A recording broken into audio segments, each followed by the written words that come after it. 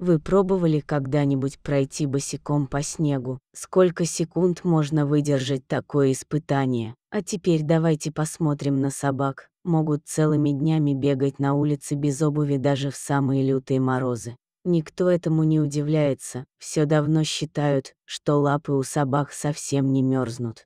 И уж кому-кому, а нашим четвероногим питомцам обувь уж точно не нужна. Нужна не нужна, об этом вы узнаете в конце статьи. Что же такого особенного в строении собачьих лап, а точнее подушечек? А весь секрет в особом механизме кровоснабжения, когда в лапах происходит непрерывная циркуляция крови, не давая теплу выйти в окружающее пространство.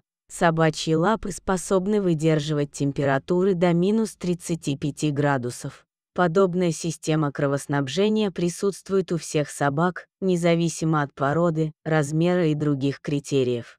Кроме того, этой особенностью могут похвастаться и некоторые другие животные, в основном, конечно, проживающие в суровых климатических условиях, песцы, пингвины. Зная об этом, многие считают, что со своим четвероногим питомцем можно смело гулять в любой мороз, главное, самому одеться потеплее. Так думала и Татьяна, хозяйка лабрадора.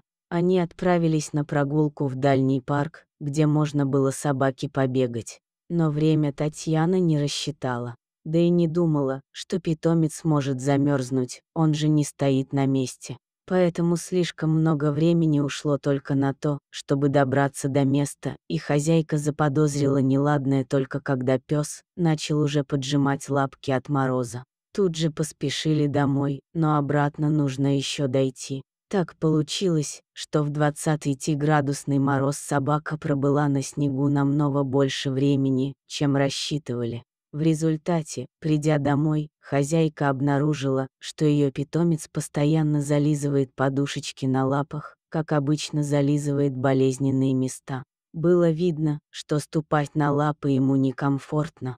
К тому же, приглядевшись, Татьяна заметила вдобавок и небольшие трещинки по краям подушечек.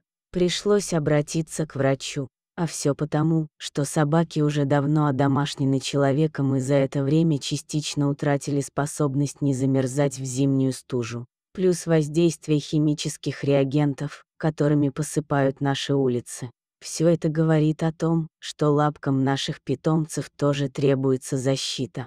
И сегодня это не проблема. Существует целая индустрия по выпуску собачьих лабутинов на любой размер, цвет и вкус. Но все они скорее по части для маленьких пород. А что делать владельцам синбернаров и овчарок, а также тех собачек, которые ни в какую не соглашаются надевать даже самые распрекрасные сапожки? Тогда есть смысл запастись на зиму специальными защитными кремами. Они помогают удерживать тепло, а также защищают от солей и реагентов. Так что на природу надейся, но и сам не плашай. Лучше не увлекайтесь прогулками с собакой в сильный мороз. А при каких температурах и как долго можно гулять с собакой в следующий раз? Следите за нашими публикациями. Достаточно просто подписаться, чтобы не пропустить.